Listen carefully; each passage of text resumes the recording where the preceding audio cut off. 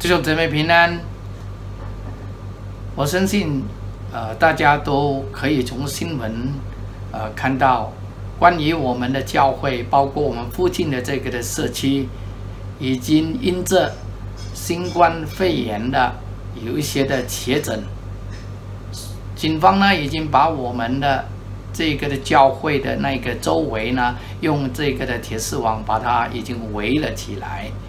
因为警方给我们的这个自信就是他要加强。在那边的行制，呃呃，行动管制令，我相信这对于我们来说是好事来的。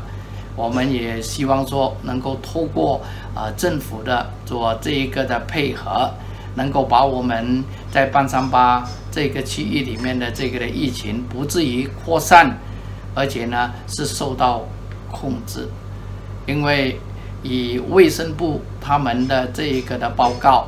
啊，他们发现有一些的确诊者呢，啊，以这一个的交赖的之前的交赖的那一个的，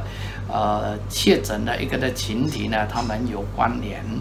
所以在这边呢，牧师要跟你们来做两项的一个报告，说第一，呃，因着我们的行动管制令延长到啊六月九号，所以我们这个网上的聚会呢，也会继续的。啊，直到我们六月尾，所以弟兄姐妹不要忘记，让我们一同的来在网上来一同的聚会，来敬拜神。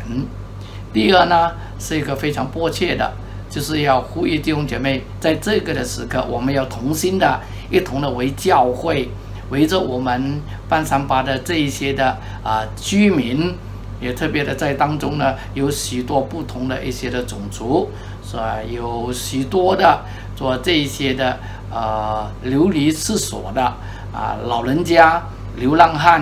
啊一些的外劳，所以甚至有一些是我们有爱机会的呃这些的老人家，还有就是啊缅甸的族内的弟兄姐妹，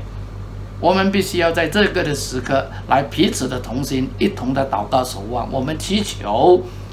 主保守做我们的教会和我们的社区，使到这个的疫情呢不至于一直的扩散到了一个不能够控制的做这个的局面。我们也希望我们的政府、我们的警方他们有聪明智慧，做在执行做这个的管制，要透过他们的配合，使到我们能够尽快的脱离我们现在的这一个的啊疫情的一个的情况。所以弟兄姐妹。不要忘记了，我在这个时刻最迫切的就是要祷告来寻求神。神仍然掌管着我们的教会，包括